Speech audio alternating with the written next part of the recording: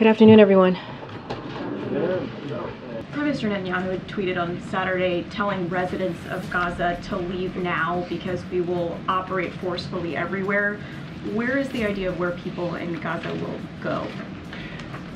This is something also that uh, we have been discussing with our counterparts in Israel and with our counterparts in Egypt.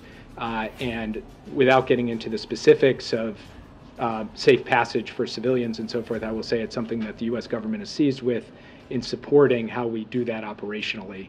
Uh, but the details of that are something that uh, are being discussed among the, the operational agencies, and I don't want to share too much of that publicly at this time. Imminently, or what? What is the? I'll I'll leave it at the fact that we are focused on this question. There are consultations ongoing, and I'll share more when I have an update for you. Yeah. My understanding is that is not the, the concept of siege is not something that, in fact, uh, is going to be pursued by the Israeli government. But we are consulting with the Israeli government about their actions in this regard.